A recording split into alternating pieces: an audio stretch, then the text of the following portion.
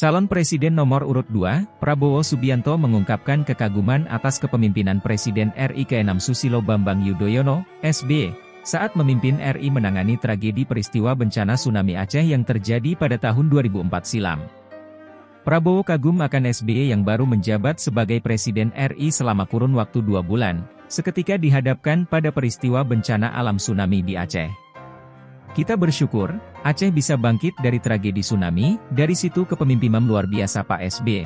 Saya kira itu belum sampai dua bulan sudah dihadapkan krisis luar biasa, krisis dunia, tapi Alhamdulillah beliau bisa atasi memimpin suatu pekerjaan luar biasa. Kata Prabowo dalam acara Silturahmi Tokoh dan Ulama Aceh sekaligus mengenang 19 tahun Tsunami Aceh, Selasa, 26 Desember 2023. Prabowo juga mengingatkan kepada seluruh hadirin untuk mengenang jasa-jasa semua pihak yang telah berkorban untuk Aceh juga saudara-saudara di Palestina yang kini juga tengah dilanda serangan Israel. Kemudian, dalam kesempatan yang sama pada pidatonya itu Prabowo memberi pesan akan pentingnya kebersamaan dan persatuan.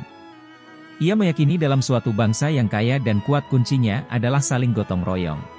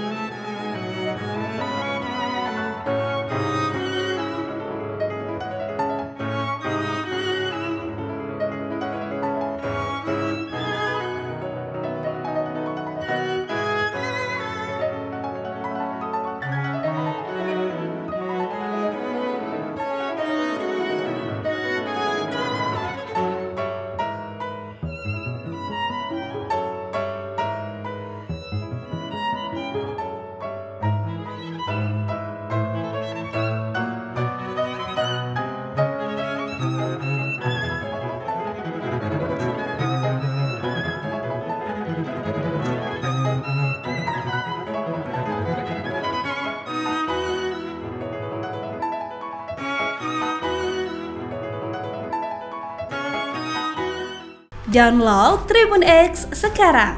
Menghadirkan lokal menjadi Indonesia.